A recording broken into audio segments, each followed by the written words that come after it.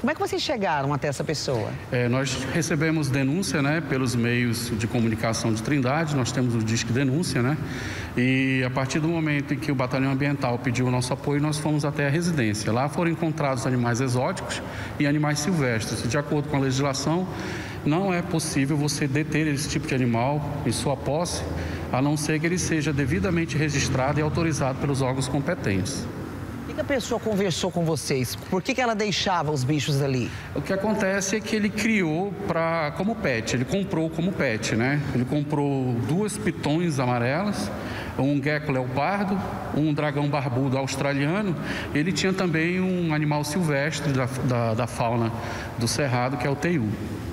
Deus, deixa eu te fazer uma pergunta assim. Eu nem quero me expor muito valor, mas isso custa muito dinheiro no, no comércio clandestino aí de animais. É, o mercado negro ele faz a, a captura e o comércio desses animais com valores altíssimos. Isso aí é verdade.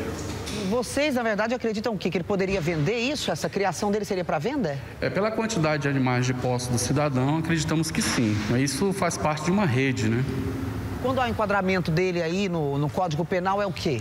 Na realidade, nós enquadramos ele na legislação ambiental, né? a Lei 9.605 de 98, os artigos 29 e 31, e no qual ele foi autuado, ele vai sofrer um processo administrativo, os animais foram encaminhados para os CETAS, e o que não exime ele dos rigores da lei com relação ao batalhão ambiental, que vai em outra esfera.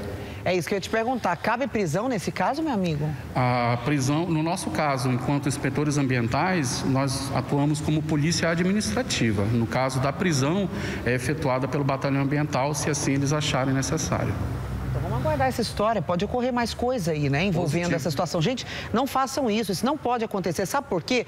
A, a, pessoa acha que conhece os animais, às vezes gosta. Ele falou que cria pra, como pet. Não, não até porque não tem nem espaço para isso, né, parceiro? Não, e não justifica, porque esses animais eles deveriam ter sido adquiridos de forma legal. Ele não tinha documentação e, com relação ao animal silvestre, é terminantemente proibido.